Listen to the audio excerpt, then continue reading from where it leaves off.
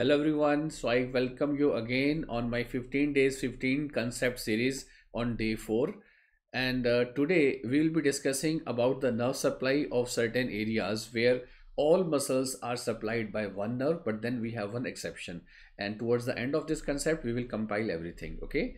So if we see this is the uh, part where the hypoglossal nerve is going to supply almost all the muscles of the tongue but one muscle will not be supplied okay? So there is one exception even in the muscular supply for the tongue muscles as well. And if you see the pharynx we have the all muscles taken care of by the vago accessory complex which is formed by the vagus as well as the cranial accessory nerve okay? Uh, if we have to choose one we will definitely go with the vagus nerve as per the latest uh, Gray's anatomy uh, but overall, it is described that VAC, vago accessory complex, by making the pharyngeal plexus, it supplies the muscles of the pharynx as well as the muscles of the palate. But in the pharynx, we have one exception, that is the stylopharyngeus muscle, which is the only muscle supplied by the ninth nerve. And if you see the palate region or the laryngeal region, we can see the laryngeal region, all muscles will be supplied by the recurrent laryngeal nerve except for one muscle which is cricothyroid which is supplied by external laryngeal nerve.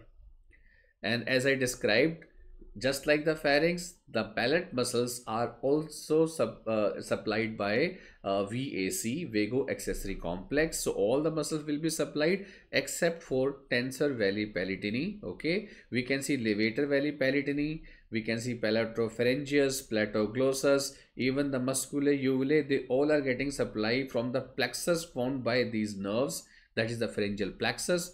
But yes levator veli uh, the tensor veli palatini is one exception here okay? And in a similar manner last in this series we can say we have infrahyoid muscles. Because the infrahyoid muscles uh, they get supply from the loop. That ansa cervicalis it makes a loop that from the loop itself the infrahyoid muscles will be getting the supply. Except one. Which one? That is thyrohyoid because thyrohyoid is supplied by the C1 fibers which are carried by the hypoglossal nerve and not from the loop itself. So now let us compile. We can say that all muscles of palate are supplied by VAC, vago accessory complex, except tensor veli palatini, which is supplied by V3, that is mandibular nerve. All muscles of pharynx by VAC again, but stylopharyngeus is the only muscle supplied by ninth nerve. For the larynx, we have all muscles getting supply from the recurrent laryngeal except one which we have seen that was cricothyroid supplied by external laryngeal nerve. And for the tongue, yes, we know that 12th nerve, it supplies, it is a motor component, but yes, palatoglossus. Now palatoglossus, I would like to explain a little bit here. It has got two component, palato and glossus. So if we divide this part, that glossus part, it is not taking it is not taking supply from the glossus because glossus means tongue right? Because for the tongue it is coming under the accept uh, accept column.